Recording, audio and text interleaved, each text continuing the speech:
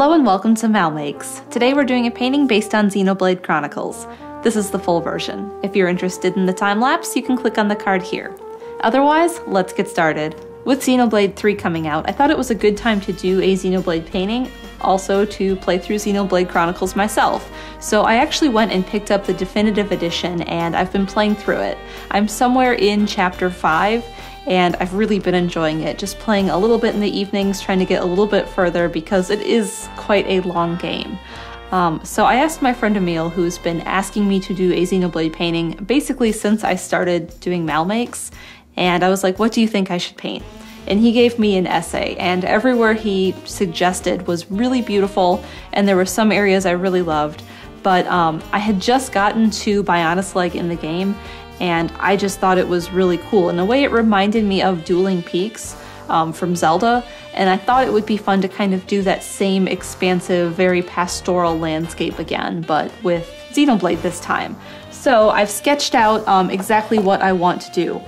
And I'm starting kind of from like the opposite end where you enter. And I want to have all of the the big arches here because I really think they add to the piece. Now I have um, the Mechonis back here and I just kind of want to make it soft where you can barely even tell it's there. And everything's going to have a lot of atmospheric perspective where some of these far away hills and mountains back here are very hard to kind of get any detail on and they're going to get less gray and more detailed in the foreground. So I need to start by doing the sky first, um, trying to just fill in some blues and whites and just different shades of that until I'm happy with it. Once it dries, I can start to draw in the very edges of where I want you to be able to see some of this. And after that dries, I can start to build some clouds on top to mask parts of it and make it even softer so you can barely tell it's even there.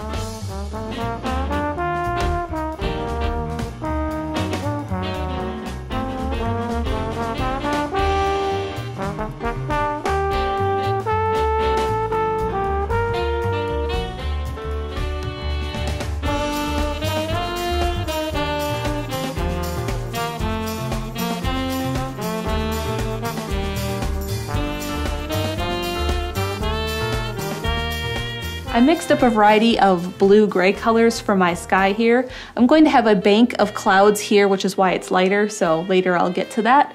And then down here I had mixed up a darker grayer phthalo blue mix for my clouds down on the horizon. And I wanted to um, bring in a little bit of cloud shape, adding some white on those, while it was still wet, and it was really kind of making a mess because the paint I had painted so thickly, and I had also mixed Golden Open, which is a slow drying acrylic, into all of these colors, and it was still wet, so it was just kind of making a lighter version of itself here and not keeping any of the brush marks and cloud marks I was trying to make. So I took a paper towel and tried to dry and scoop up some of the paint on the highlight side of the clouds so I could mix more white on top of that and have a bigger effect to make these clouds. Now they're still not as bright as I want, they're very subtle here. So once this dries completely, which takes a while with this paint, I can start to bring in a little bit more highlights and a little bit more shape on these down here. So once I finish that, I can start to draw in everything else I want for the sky and fill that in on top and make that a bit softer using some of these same colors just to keep it very hard to see there in the background.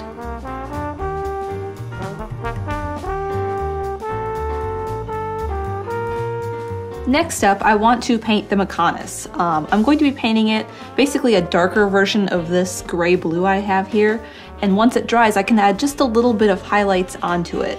That way it blends in really well and it still has that atmospheric perspective that it's going to be getting. And I didn't draw everything in up here because a lot of it's going to get covered by like the arches for the, the land that swoops up and then the cloud bank that's going to come in across the face of it. So I just want to give the hint of it. So I'm going to paint everything the darker gray blue, bring in a little bit of highlights here where the clouds don't cover, and then later once I get to those clouds, cover up a lot of it here, and then um, just fill in the arch later that'll really cover up the rest of it.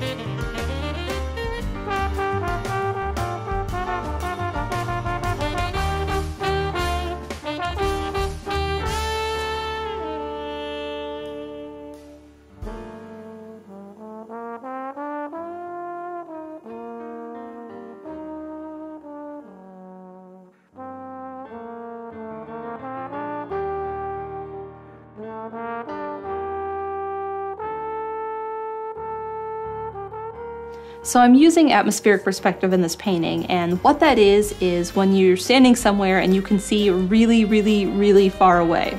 The things that you're looking at that are super far away are going to be lighter in color and there's less detail on them because your eyes can only see so far, but also the atmosphere, depending on the weather, can kind of make things hazy and change the true color of what you're looking at.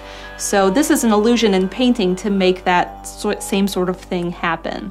Each layer that I have is going to get more atmospheric perspective techniques to it to make it look further away. So I've done four different layers in this painting, and the first one I'm not even started on yet. That's the one that's currently going to be white canvas here. It's the stuff in the foreground, the stuff that's closest to us. There's going to be an arch up here eventually that is part of layer one. So layer one is going to have the most detail. You might see like individual grasses or leaves or um, stones like on the arch as it goes up. I haven't quite decided yet because I haven't started it. But that layer gets the most detail. It's also going to have the most saturation and the biggest contrast range. What I mean by that is its darkest colors are going to get all the way down into Mars black. And there won't be any Mars black in the background because those layers aren't going to get the darkest and the most um, contrast range. Layer 2 is this navy layer right here. So this navy is going to be the darkest color in this layer. It's not getting the Mars black, so its contrast is kind of getting crunched a little bit, especially on the dark end. Um, and it's also getting a bit grayer, a bit lighter, less saturation, less detail. Um, you know, you can't really see it yet because it's just the base layer blocked in, but there will be less stone texture on these pillars than on layer one, but there will be more texture on the stone pillar than on layer three back here. Layer 3 has a steel blue color as its base layer, so it's getting grayer and lighter and less saturated and less contrast than layer 2. So these trees, you start to see kind of just, oh, there's an impression of a tree here or one right here. You can kind of see that this is a rock face, but there's not a whole lot of detail to that stone. It's just kind of a lighter yellow color. So you get the impression that it's there, but it's not really painted that way. And layer four is even grayer with less saturation, less dark colors, more gray, less detail and it's way back there and it's just this vague impression that there's a fourth layer of ground back here. So that's how I'm accomplishing that and I'm working on layer three right now. I blocked it in with a navy and I'm going to work on the stone first because I want to make sure I have that right. And then I can start to work on some of the greenery like right here and then on top of the arches. But in between layers two and layers three, which is the one I'm blocked in and the one I'm done with, there's a row of trees. So I need to finish these trees first because they sit in between. I've mixed up a darker blue-green color, which is kind of similar to the darkest one back here, but it's a little darker even because I'm getting into the foreground because that one's behind it. So I'm going to tap that in in all the shadow places and then work my way lighter into more light green yellows for the highlight parts of those trees, and then I can get started on my next layer.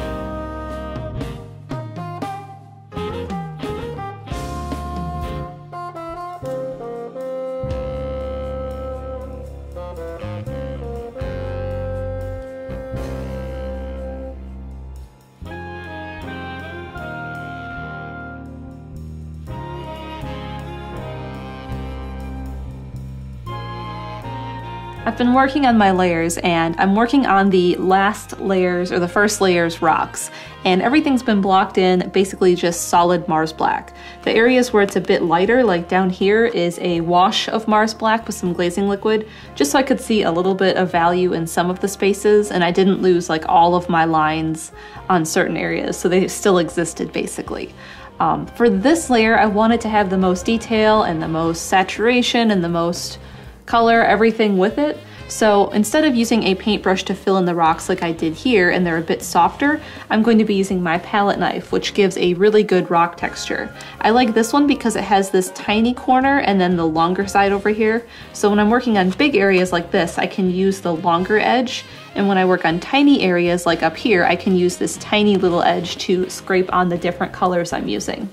Now I'm going to be starting with a Burnt Umber Mars Black mix because Burnt Umber by itself is still a bit lighter and more saturated than I want for some of the shadow areas, and I'm working in those first. So I've mixed it with some Mars Black to give myself basically a darker brown. And in some of these areas, I'm just going to set the knife down and kind of pull to give it a little bit of texture, scraping that paint on that area. On the areas that are highlighted, I'm going to keep working into lighter colors, maybe into some burnt sienna, which is a bit oranger, maybe into some Titan buff, which is a bit more sand colored, especially in the really bright highlight areas. And then I'll be done with all of these rocks.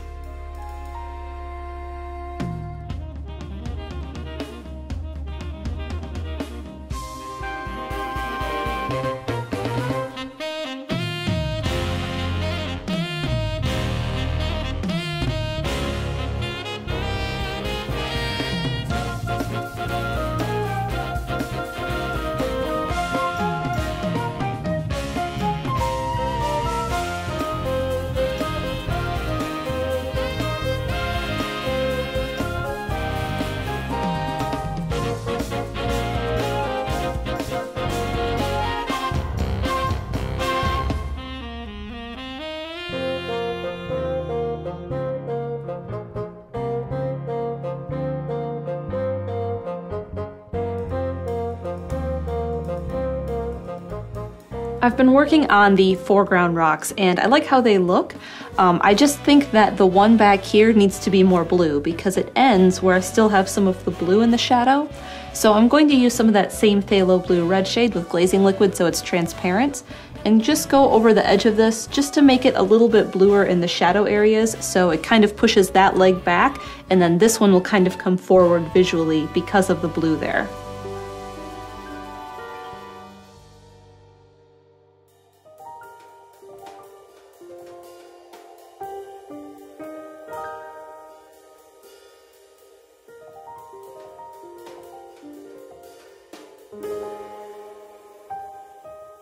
So I think a lot of people know this specific location better as like Gaur Plains based on the Smash stage.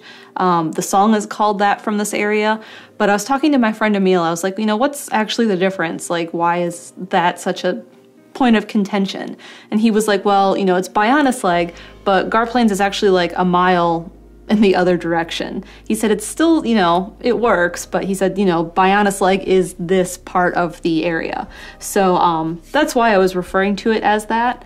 Um, and I finished up all of the rocks, adding a little bit of blue to this one back here. It definitely helped push it back from this one, and adding a little bit of blue under this archway and then on the left side of this here, behind this leg, really helped push that back there too. Um, so all the rocks are done. I started to block in a few trees here and then a few like fully trees with all the leaves on them. And now I just want to really finish this grass because it looks pretty good back here in the background, but I need to finish it as I get close to this area and fix up the parts that I wanted to, along with like the edges along some of the rocks I painted. Um, and then after that, because I'll be able to fill in like the shadows for the trees, I'll be able to finish the trees themselves. So it's just kind of this greenery left, plus all of the stalactites up on this part of this arch, and then everything is going to be done.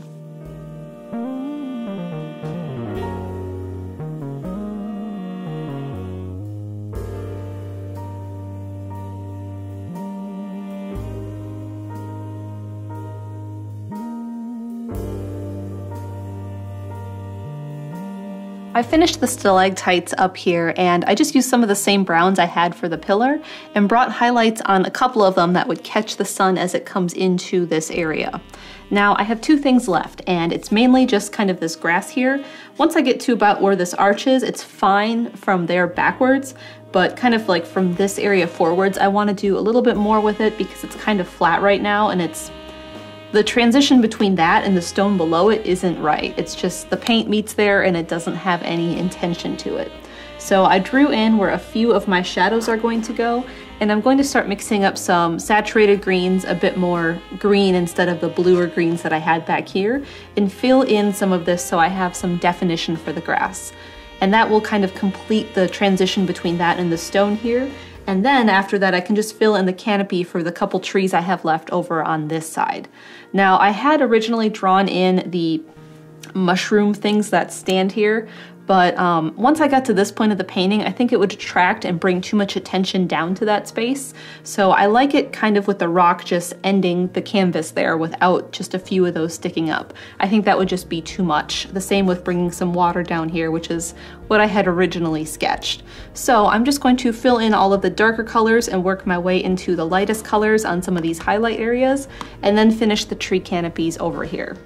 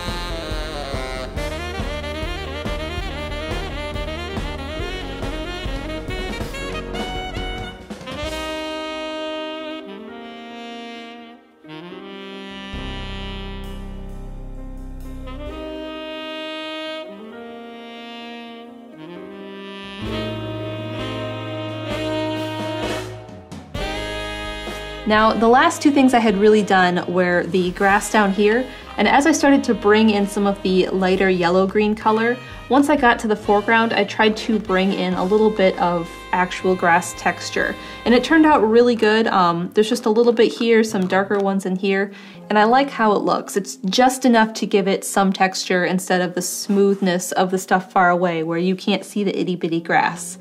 I also finished like these few trees over here using the same sort of technique where I'm tapping it in like this one here, but you can see it gets a lot darker because it's in the foreground compared to these ones back here.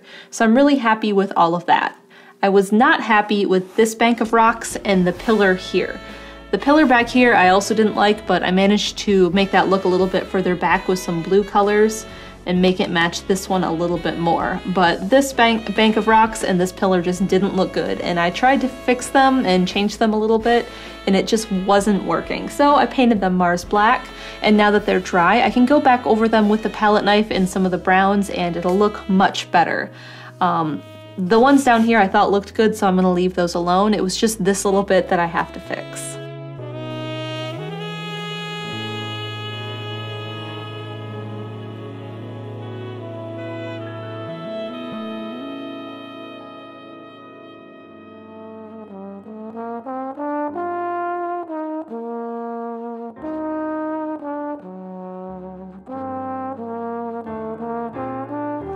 I matched my colors down here and filled in the pillar and then this cliff face here. So it matches this part down here. But I had started to go a little bit warm when I had done this leg. So I want to bring a little bit of that there because the sun coming in is going to catch a little bit of this cliff face, a few of these, and then maybe just a few areas down here on this cliff face. So I've mixed up um, basically this color I have here with a little bit more um, yellow ochre to make it a bit more warm, sunshiny color. And I'm going to just scrape it on a couple of these just to lighten them up and make them look like they're catching the sun.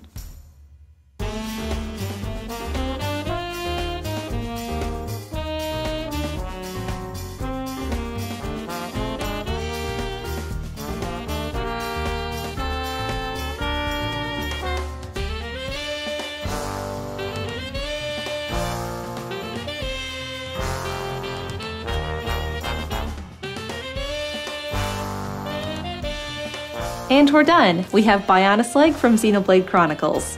If you're interested in this piece, you could buy a poster or a phone case, or bid on this original canvas. There's links down below.